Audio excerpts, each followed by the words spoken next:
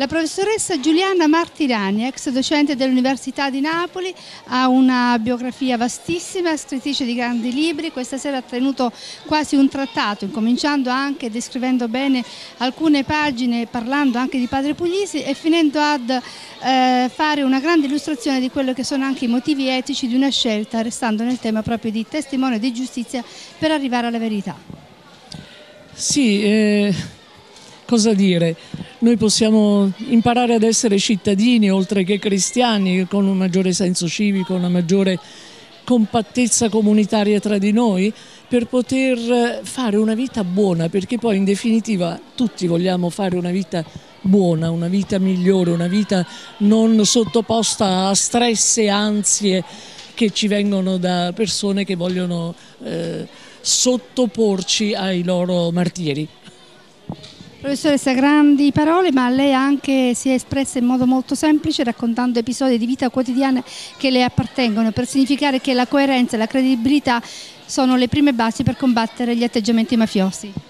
Ma fondamentalmente credo che bisogna avere una passione per la vita, imparare ad amare la vita, il desiderio di viverla bene, bene perché ne abbiamo una sola e quindi non si tratta eh, solamente eh, di viverla noi, ma tutti quanti, viviamo tutti in un contesto. Una volta che io sono andata in Brasile, perlomeno 30 anni fa, e vidi che c'era il negozio eh, il grandissimo supermercato in cui si vendeva ogni bene e a fianco un piccolo negozietto in cui si vendeva zampe di galline per i poveri, ma me ne andai eh, da quel viaggio dicendo ma i brasiliani sono matti, tutti i brasiliani, non solamente, cioè come potevano permettere delle persone ricche che quelli lì mangiassero le zampe di galline? Cioè come può un fratello permettere ad un altro fratello una cosa del genere?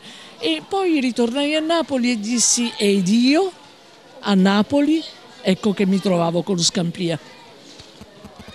Convegno sui testimoni di giustizia, qui nel Salone Parrocchiale di Soverato, il numero uno di questo convegno eh, ovviamente è, è, inserito in un programma di protezione il signor Giuseppe Carini. Giuseppe, questo impegno, questa scelta difficilissima che sicuramente è costata tanti sacrifici, innanzitutto vorremmo sapere da cosa è nata.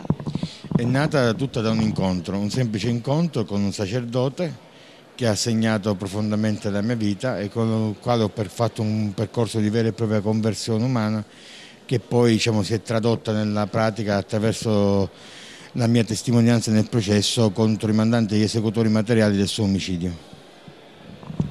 I suoi parenti l'hanno seguita in questa scelta? No, eh, purtroppo loro dire, ehm, sono stati vittime dire, di quella cultura del silenzio e dell'omertà ma il fatto dire, che mm, i miei familiari non hanno gradito la mia decisione, questo non fa venire meno la scelta che ho fatto che rimane ancora intatta nella sua natura. Quanto è difficile la vita di un testimone di giustizia che spieghiamo bene non è da confondere con un collaboratore di giustizia che è tutt'altra cosa, vuoi dirlo tu? Sì, il collaboratore di giustizia è un ex appartenente all'organizzazione criminale e quindi che decide di, fare, di, collaborare con lo Stato sulla base di una scelta che non, non diciamo, raramente di natura etica. Il testimone di giustizia è un cittadino libero che decide appunto di riferire all'autorità giudiziaria quanto è di sua conoscenza ma lo fa per dovere civico.